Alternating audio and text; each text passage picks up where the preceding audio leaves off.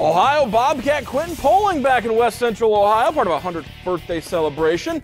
Fort Jennings taking on Pandora Gilboa. Nick Von Sassen finds Josh Whitler, cuts the Rocket lead to one. Rockets go inside. Seth Schmeck finds Colin Fenstemaker. PG increasing their lead. Jennings seeing more red. Brian Schneck leaves it for future Findlay Oiler Jared Towsley, two of his 13 points. Fort Jennings comes firing back. Nick Von Sossen hits the 14 footer, 10 points for Von Sossen as Fort Jennings picks up the PCL win by 6, 50 to 44. The final, Connor Wallenhorst, 12 points for the Musketeers.